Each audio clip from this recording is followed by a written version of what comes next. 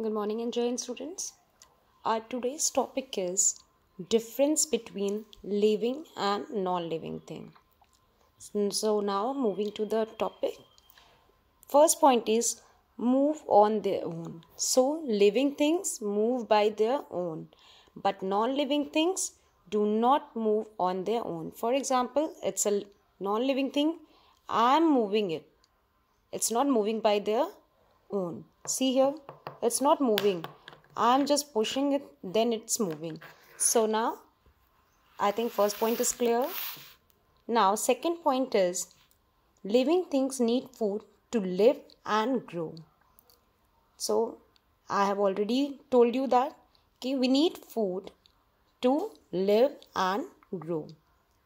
And now here in non-living thing non-living thing do not need food. They don't eat because they are non living things, so they don't need food.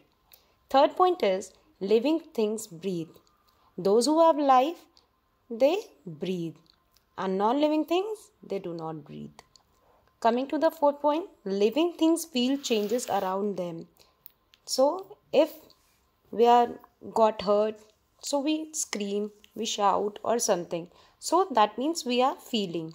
But non-living things they do not feel changes around them.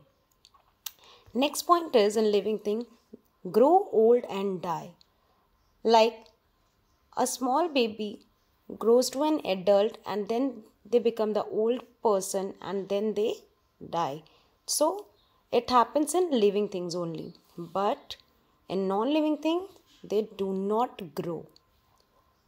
Next point is living things produce babies I have already told you in the characteristics that it has a characteristic of reproductions or reproduce. So, living things produce baby by laying eggs or by giving birth to a baby. Now, next here in non living thing, they do not produce babies.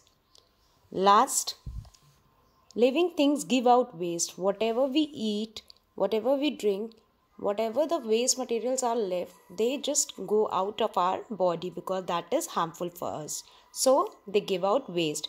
But in non-living things they do not give out waste.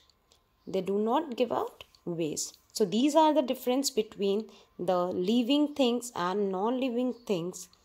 I hope the points are clear to you. Thank you